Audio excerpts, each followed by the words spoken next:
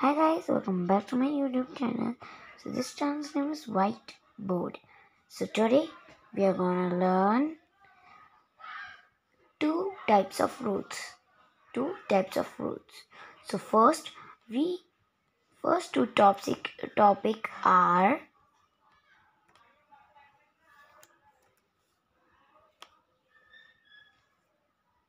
taproot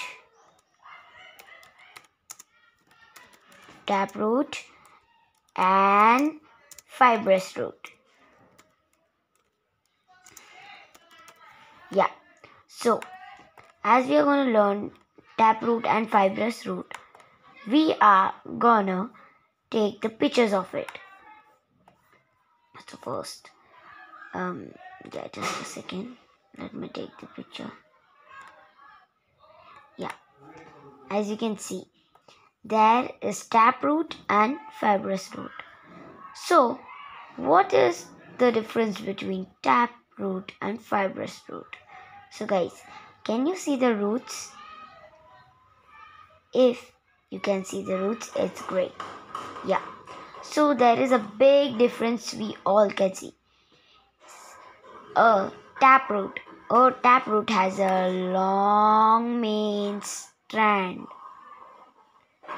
side of it, many small strands are there. But in fibrous root, there is no long strand or any main root. There are all the small strands. So, the difference between taproot and fibrous root is taproot are having one main root and other all are small roots. And in fibrous root, there is no main root, but there is small, small, small, small root. So guys, you understood the difference? So guys, can you see here I wrote difference between taproot and fibrous root. Guys, I'll give you little time. You can pause the video and note it down. Let me take it a little near. As you can see, I will explain you again. Tap root roots which have a long main root and with other roots connected to it. Fibrous root root which have no long main root but has small roots connected connector with it. So guys, I will show you again the photo for your clearance.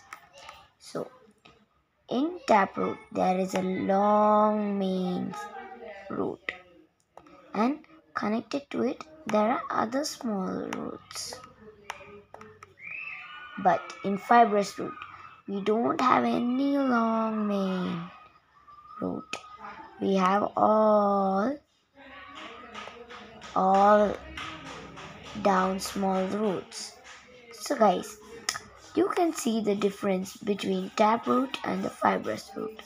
So guys, I hope you learned a big, big topic today.